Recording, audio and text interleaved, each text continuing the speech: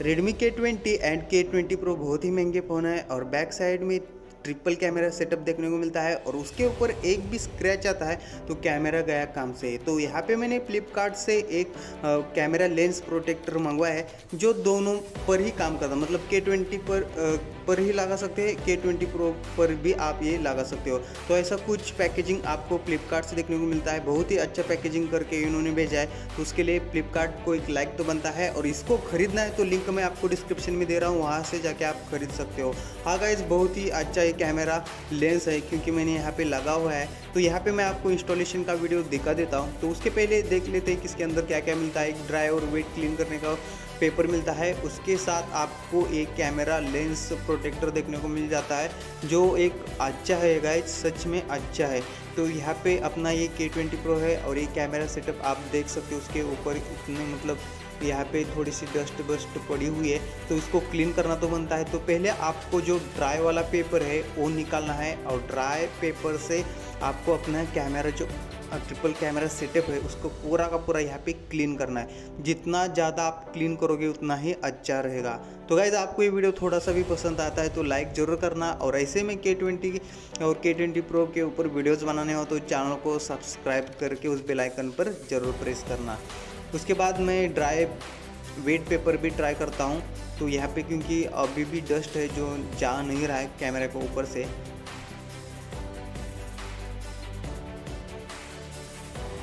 ये थोड़ा सा गीला गीला आपको देखने को मिल जाता है वेट पेपर और वेट पेपर यूज़ करने के बाद गाइज़ और एक बार आपको ड्राई पेपर यूज़ करना पड़ेगा। तो पूरा का पूरा आपका कैमरा मॉड्यूल यहाँ पे मतलब कैमरा सेटअप और उसके ऊपर का जो भी डस्ट है पार्टिकल्स है छोटे छोटे पूरे पूरे यहाँ से निकल जाएँगे। तो यहाँ पे देख सकते हो, पूरा का पूरा क्लीन हो चुका है। और ये जो हमारा लेंस प्रोटेक्टर है। इसको गाइज़ आपको थोड़ा सा थोड़ा सा प्ले आ, मतलब प्रेस करना है बीच में से।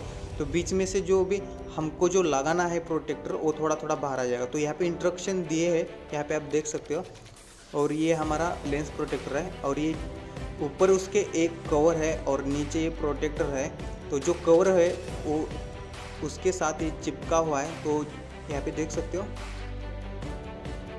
कवर निकालने के बाद ये कैमरा प्रोटेक्टर यहाँ पे अंदर देख सकते हो आप, उसको थोड़ा सा प्रेस करके आपको निकालना है, पूरा नहीं निकालना है थोड़ा थोड़ा यहाँ पे प्रेस करना है, बस थोड़ा थोड़ा सा। और उसको, उसके साथ ही आपको अपने फ़ोन को, फ़ोन के साथ सेट करना है, यहाँ पे देख सकते हो। थोड़ा सा प्रेस करके मैंने बस थोड़ा थोड़ा निकाला हुआ है, और अच्छे से यहाँ पे प्लेसमेंट करना है आपको, प्रोटेक्टर का और हमारे फ़ोन का। मेन कैमराज के। तो यहाँ पे देख सकते हो, अच्छे से यहाँ पे फिट हुआ है कि नहीं, यहाँ पे आपको चेक करना है। हालाँकि मैं नाइट में बैठा रहा हूँ तो यहाँ पे थोड़ा सा इधर उधर हो सकता है और यही मेथड है गाइज़ और प्रेस करने के बाद जहाँ पे प्रोटेक्टर है और जहाँ पे हमारा मेन कैमरा है, वहाँ पे आपको बहुत ही ज़्यादा प्रेशर देना है। मतलब तोड़ना नहीं है पूरा कैमरा आपको बस थोड़ा थोड़ा प्रेशर देखिए साइड से और थोड़ा थोड़ा प्रेशर देना है। मतलब पूरा का पूरा वो चिपक भी जाएगा और साइड वाला जो कवर है, उससे निकल भी जाएगा। और बीच में आपको एक अपना उंगली रखना है और प्रोटेक्टर को मतलब सीधा धीरे धीरे यहाँ पे निकलना है। तो जो कैमरा प्रोटेक्टर है, वो कैमरा के ऊपर चिपका रहेगा और साइड वाला कवर भी यहाँ पे निकल जाएगा।